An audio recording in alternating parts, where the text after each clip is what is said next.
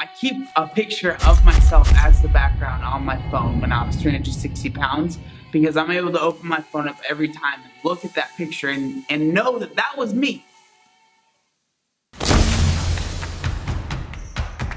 And that's the life that I thought I was going to live for the rest of my life. I genuinely thought that I was going to be one of those people that were bedridden in their house, that couldn't leave their house, and if something medically happened to me, they were going to have to get a crane and get me out. Honestly thought that is where my life was headed, and I kind of accepted that.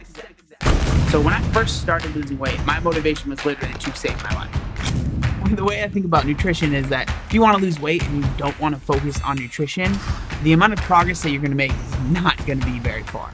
It is literally, I feel, the backbone of weight loss. I'm John Glaude. This is Evolve Health Made Simple.